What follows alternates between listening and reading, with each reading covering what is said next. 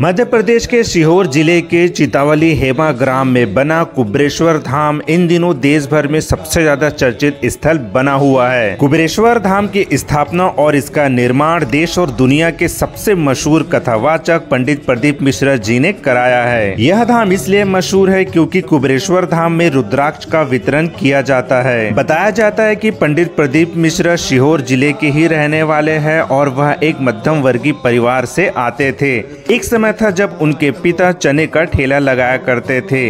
वही प्रदीप मिश्रा जी एक private school में शिक्षक के तौर पर काम करते थे।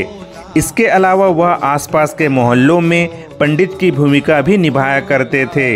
लेकिन कहते हैं समय का चक्र घूमता है तो अच्छे अच्छों की लग जाती है। ऐसा ही कुछ पंडित प्रदीप मिश्र जी के साथ हुआ है। और आज स्वयं कुबेर देवता उनके कुबेरेश्वर धाम में आकर विराजमान है। सब दुख काटो मारा।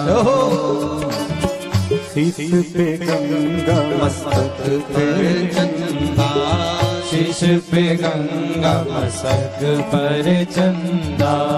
शीश पे गंगा मस्तक पर चंदा।